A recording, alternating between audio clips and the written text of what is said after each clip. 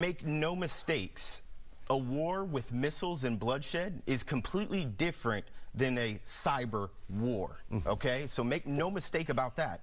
Russia has been after our infrastructure for decades now. So has China, and so has other um, countries, okay? So make no mistake, what Russia can't do from a war perspective with missiles and bloodshed. If they're in Russia and they're able to manipulate a water system in Texas, in the panhandle like this, I mean, what else can they do?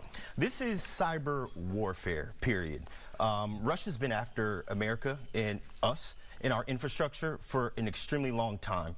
The underground IRC chats suggest, and this is Kremlin who's responsible for this, that this is one of many. So what did they do? They went out to a town, a small town that has 5,000 population, Muleshoe, and what did they do? They exploited Muleshoe, and as a result, they released it so the world could see, making a mockery out of the cyber defenses, right?